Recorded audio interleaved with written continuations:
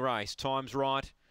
He can really zip early. Waterloo Manelli can charge late. We're just about set. Race six. 210 Waterloo Manelli. Set to run. Race six now. They're set.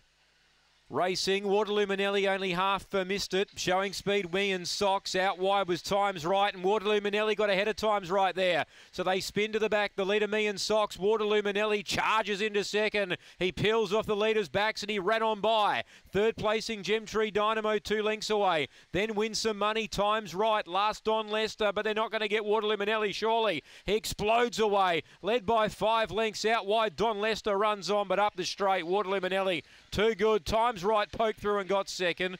Uh, Gemtree Dynamo will stave off Don Lester for third, so that'll relegate Don Lester to fourth. Then me and Socks win some money.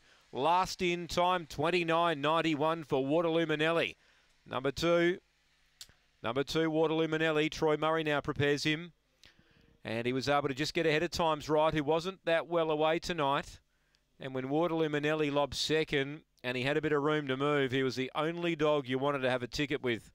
Number two, Waterloo Manelli. He charges away to win by five and three quarters by half a head. Number eight times right. He came again in the middle to get second when it looked as if he might run third or fourth. For Gemtree